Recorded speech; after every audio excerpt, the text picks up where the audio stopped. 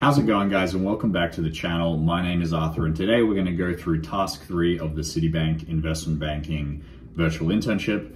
In this task we're going to be plugging a whole bunch of numbers. We're basically doing a comps analysis to see the multiples that we can get from our comparable companies. The two key multiples that we're after here are our enterprise value to EBITDA number and also our enterprise value to revenue. This just helps provide a bit of context to the value that we're going to attribute to Best Buy. So that's usually a good like first step is to have a look at companies that we think are in the same space, serve similar customers, maybe have similar products it's usually a pretty good indicator of what the market is valuing those companies at that point in time. So I think the question that a lot of people will have is where do I find this information? And you can find it in a number of places. One is Yahoo Finance, another one is probably the Wall Street Journal. Uh, if you have access to something like CapIQ, you can also use that. The only thing I'll say is just try and stay consistent between the source. I just went with Yahoo Finance. That's the easiest thing. Everybody who has internet should have access to this info. Let me walk you through exactly where I found the info for the different line items we were inputting. One other thing before I get into the nitty gritty of this task,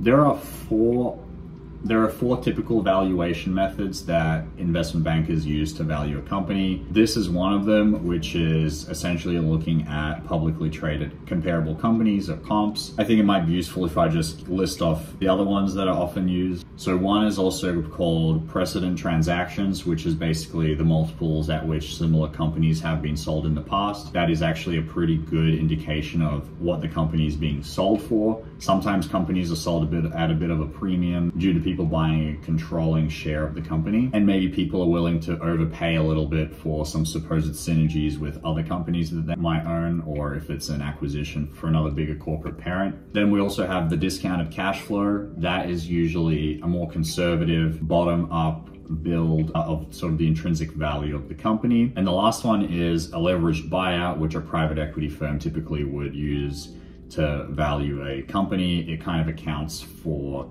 the private equity taking on some amount of debt to help finance this transaction and then pay that debt off over time. Those are the four main valuation methods that people use. I thought that would be useful context as you approach this task. So let's start with Best Buy as an example here. Pretty simple, the share price is essentially the share price.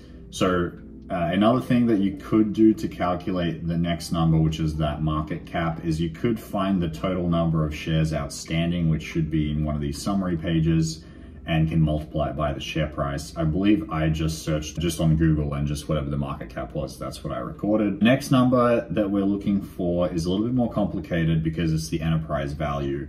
And for that, we need that short-term debt, long-term debt, cash and cash equivalents. So we need to look at our some of our balance sheet items so let's go to the balance sheet here. This is sort of the financial year end that we're after. The cash and cash equivalents are in current, assets. So this is where I'm getting this number from. Sometimes it breaks it out. I think I used this one. Then our debt is in our liabilities section. So let's look at total liabilities, current liabilities, So we have here a portion of our uh, current debt and capitalization. And then we, we can go to uh, total non-current liabilities to see our long-term debt. Sometimes it's broken out right here. So I didn't actually use this lease figure. I believe I just calculated this long-term debt. So if you're using Yahoo Finance, this is exactly what it should look like for you. Just plug those numbers in and go through that calculation. So for the revenue, that's in the income statement, which is what we were looking at uh, when we first got on this page. Uh, we have TTM or LTM. This stands for trailing 12 month or last 12 month period. This is where we're getting this figure from. And then our EBITDA number is also coming from the income statement right here. Just a side note, if you're looking for the EBITDA number from something like a 10K that number is not always broken out. Luckily, it is broken out in Yahoo Finance, so that just makes it a little bit easier for us. I'm not sure if uh, if the Wall Street Journal breaks out EBITDA. I think Capital IQ does, but I'm, I'm not expecting any of you guys to have access to that. But yeah, you can just repeat this process for the rest of our companies Every, every single one can be found on Yahoo Finance. You just plug those in. And then for our multiples, once we have the revenue and EBITDA numbers, we can effectively find our EV to EBITDA multiple and EV to revenue multiple as well. All right, so as we open up our Excel file, our goal is effectively to fill out these columns right here.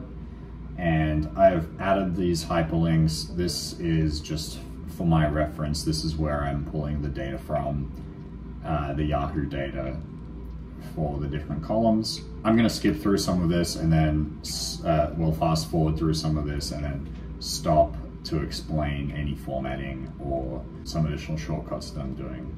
So first of all, we're just gonna fill in all our uh, share prices.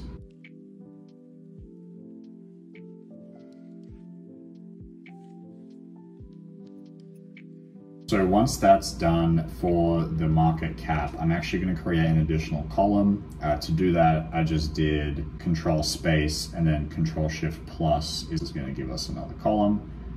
Uh, I'm gonna fill in the market cap figures.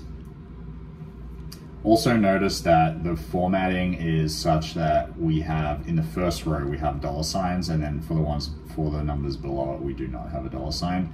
Just because this is in millions, I and these numbers here were in billions, I am going to uh, change that. That's why I created this additional column. There we go. So if, if you do control enter, that's gonna flow through all the way down. One comment on this is that we can also calculate this using shares outstanding. Here I just hard coded the market cap numbers in and here I'm just, I realized that I didn't add the decimals and it, the decimals actually are important. I need to see the full million number. So I'm just adding those back in here.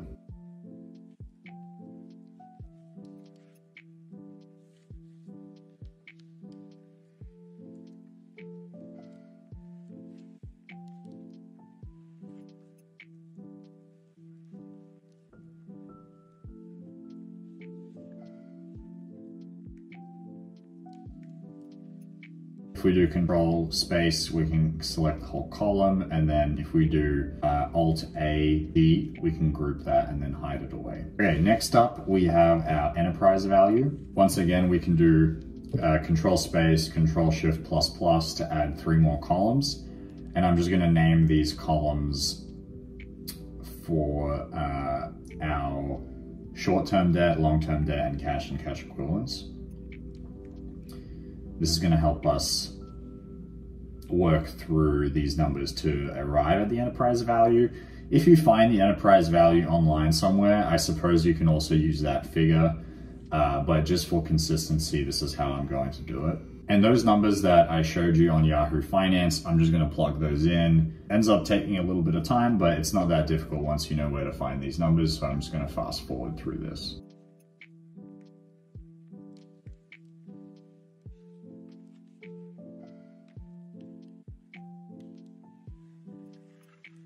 Right, once we have that going, we can highlight these cells and then it's just a walk to the enterprise value. We begin with the market cap. We subtract the debt and add back the cash and that flows through nicely there. Notice how converting our market cap into millions has helped us because every other figure is also here in millions, so we can just add them together or subtract them. All right, our long-term, uh, sorry, last 12 month revenue and our last 12 month EBITDA, again, we can just plug these numbers in from the Yahoo page on the income statement.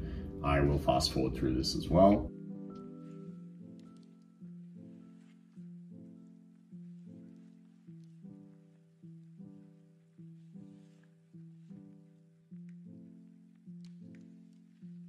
Once we've done that, our EBITDA margin is our EBITDA divided by our revenue for the last 12 months. And then for the EV to uh, revenue is our revenue multiple and our EV to EBITDA number is our EBITDA multiple. So that's the correct formula there. I'm gonna copy that down. Just checking. And I think that looks good. We can just copy it across.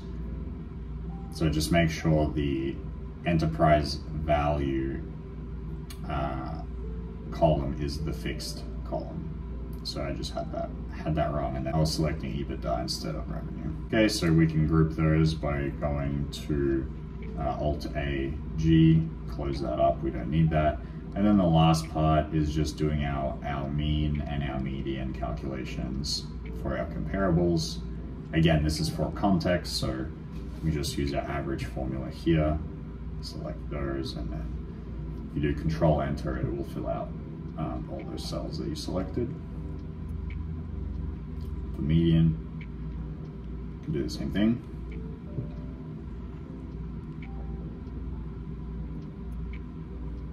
Awesome, and that's it.